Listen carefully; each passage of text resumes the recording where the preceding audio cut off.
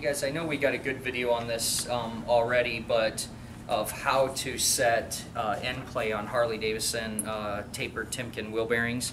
But what we don't have is one that's bad. So we're going to take a look here. Um, we've already got our new races in here, and we're going to uh, set this in place. So anytime you put new bearings in, what you're trying to do is you're trying to set basically the length of the spacer because when the when this is in its race in here we're adjusting how these rollers sit on the race that's down inside here. So we're adjusting that play. But we're going to show you here why it's so important and we're going to do kind of every mechanics video on parts inspection and this is pretty common. We uh, on Harley Davidsons you have a steel spacer and on sport bikes it's real common that you have an aluminum one okay and if you ever go to take and change the bearings in this spacer, listen to me, this is every mechanic deal. If this spacer is flared, mushroomed, or anything else, that means it's going to be shorter, okay? Because what's happened is somebody has over torqued a bad bearing or something, uh, usually you're just way over torqued, and it crushes that. And now, since that's a shorter distance, if you put new bearings in, th this is too small and as soon as you tighten up the wheel, it's going to take out those brand new wheel bearings. So you always have to inspect your parts. But let's do something here. Let's switch back to Harley mode here. And can you see, we see on uh, this side how it's perfectly machined, but this side you can see the flare. It tells us it's been cut by some type of saw. Mm -hmm.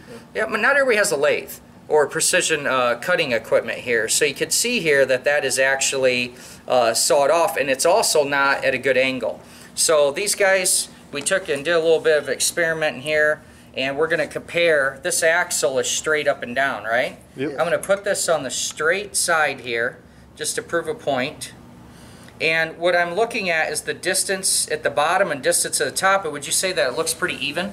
Okay so let's go ahead and let's put the sawed edge now I'll try and put it in its most dramatic place. And now what would you say? It's leaning so it's a little bit. Would yeah. you agree? Yeah. So let's just settle on a little bit. So let's think about this. Since that's not straight, okay, and when you clamp this whole thing together, when I clamp this whole thing together, let's zoom in onto where in, in here.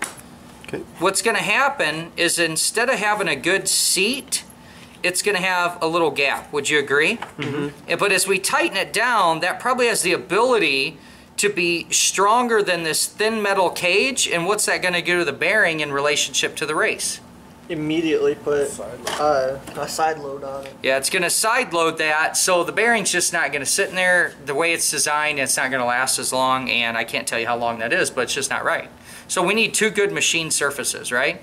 Yep. All right, well for to move on with what we're actually trying to do here is our spacer. Watch what happens when you actually use a bad spacer that's mushroomed or too short. Would drop down inside here. You put your new bearing on. This is a big thing people overlook. So what we got here is we got our axle and the vise and we're going to go ahead and stack up our spacers here. Just kind of making a little sandwich here. Now watch this. Alex here, go ahead. Uh, this is supposed to be torqued to what? Uh, 65 to 70 foot-pounds. 65 to 70 foot-pounds is what the uh, torque of this is on the motorcycle. So watch, Alex here is just going to set his torque wrench to 10 foot-pounds, and then look at this here. Would you agree that this wheel, I just got hand pressure on here, would you agree that this rotates nice? Yeah. Will you guys go ahead and feel it for me? Go ahead, just uh, cycle through pretty quick here.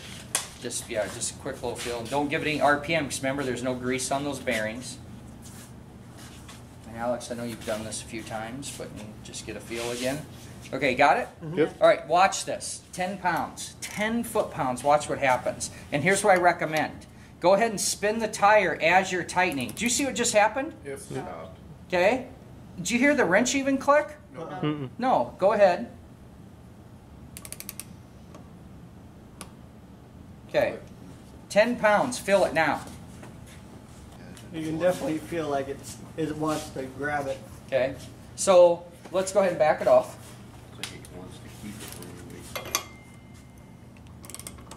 All right. Now, do that again. Just, just yourself, just one there. You don't need two hands, do you? No. Could you just do one finger like that?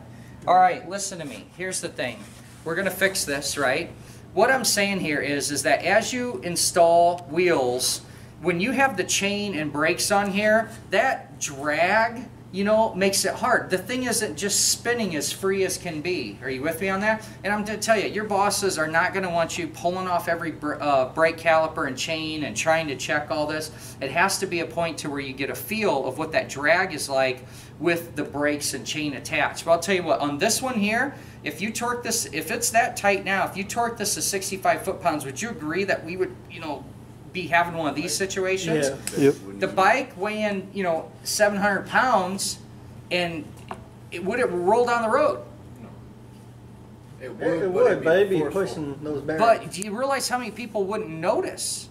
right. Right? That's the point I'm getting at is that, you know, the bike's heavy anyway, and for you to add a little bit of muscle, oh boy, man, this bike's heavy. Is the bike heavy or the bearings crushed? You know what I mean? Right. So that's where we're getting at. You want to check this. Don't take for granted on any anything that gets clamped like that needs to rotate. In summary on that, you saw that it was a great idea to go ahead and spin this lightly as you're tightening it. When we torque this, when we do this right, and you'll see here when we're done with the second video, when we torque this correct at 65 foot-pounds, it'll do that. Make sense? If you like what you see here, would you please share it? I'd love you to keep my platform going here on uh, technical education and uh, um, the ways to be great in your craftsmanship. So keep on wrenching, and we'll see you again in the future. Thanks for being a subscriber and follower of the channel.